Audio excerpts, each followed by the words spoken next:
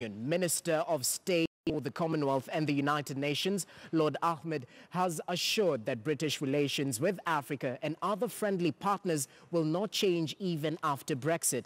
Ahmad, who is also the British Prime Minister's special representative rather, on preventing sexual violence in conflict, sat down with my colleague Kisa Wandera for an exclusive interview. Here is part of that conversation. As uh, the Minister for uh, State for Commonwealth, I will not delve much into it, but there are jitters about the upcoming divorce with uh, the European Union in March next year. What assurance are you giving Commonwealth countries? The collaboration that has been there for years is still there, and um, they should be looking forward to business collaborations. It's something that Theresa May, when she was touring the continent, uh, came to Kenya the other day. She insisted that Africa and uh, the UK will continue to collaborate, but the G's are still there. What assurance are you giving as the Minister for Commonwealth? Well, first of all, you know, the Prime Minister talked of tariff-free, quota-free trade, and that's the principle on which we continue to work with Africa and around the world. I think First and foremost, when we talk of this divorce, what is it? We had a referendum in the United Kingdom.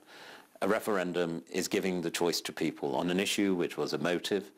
It was something that we knew was some different opinions existed uh, within our country, but it was important that to let people have a voice. They spoke, and they, by a majority, and that's a democracy at work, voted to leave the European Union.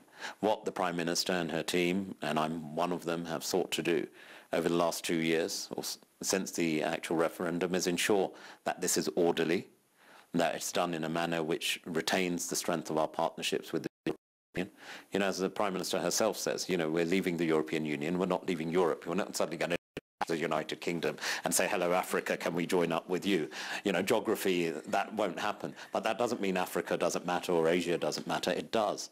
What Brexit also allows us to do is strengthen our global relationships and free trade arrangements and partnerships with Africa. But we're doing it in an orderly fashion. Because if you're a business in the United, I was in the city, I was in business for 20 years. You ahead. You don't want assurance just for a month. You want to plan ahead for the next two years. And what the Prime Minister has negotiated is that as we leave the European Union, there is much that binds us together. We need to ensure our planes continue to fly, goods continue to trade across the European Union. And that will continue to happen from the deal that has been secured, that access Britain, but also in the context of Africa and the trading relationships we have, we have given that commitment to ensure that Britain continues to have not only the current levels of trade, that we grow, for example, with the 1.1 billion that we have in trade, and there's potential to do that. Now, as far as our European Union partners are concerned, they also recognize that. I have always said and retained that what you will see ultimately is pragmatism. And the deal we have in front of us ensures exactly that approach. There are concessions.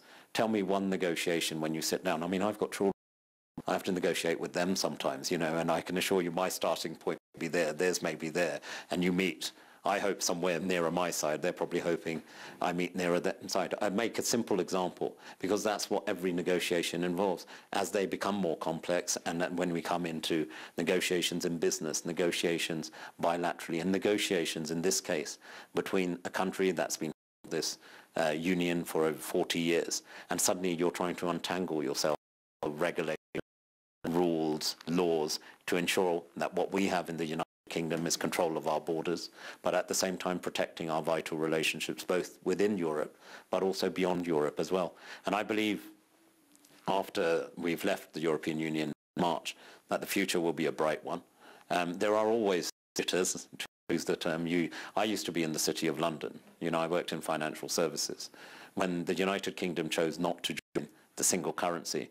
There were many people who said this is the end of the City of London, the United Kingdom will no longer be a centre for financial services, no people, no company will invest in the UK.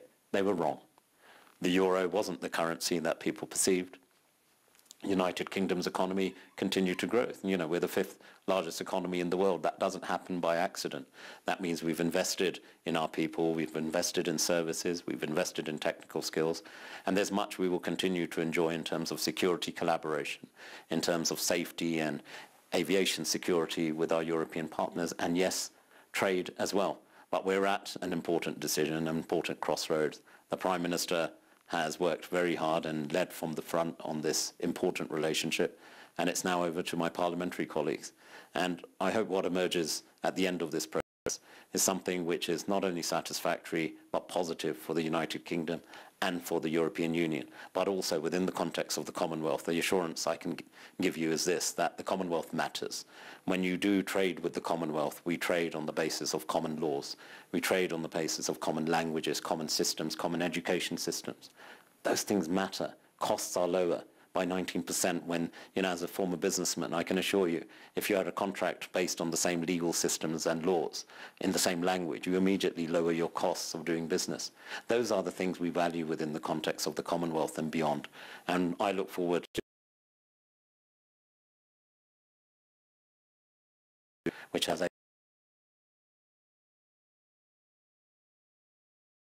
across the Commonwealth, and we look forward